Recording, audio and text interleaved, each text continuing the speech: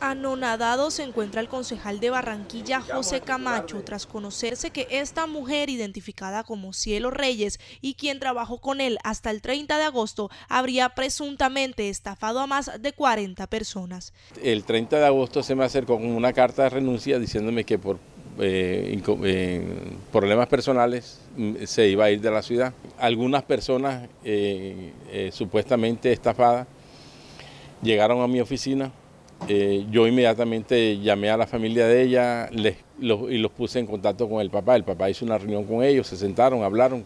Pidió a la implicada y a las autoridades aclarar el hecho, puesto que no tuvo nada que ver con esta situación. El concejal y pondrá una denuncia penal contra la mujer por abuso de confianza. Es verdad, no podemos negar, ella utilizó mi credencial, ella utilizó mi sombra para hacer eso. E, e, eso le, dio más seguridad para, para todo lo que hizo, pero eso no quiere decir que yo estoy vinculado directamente con este proceso.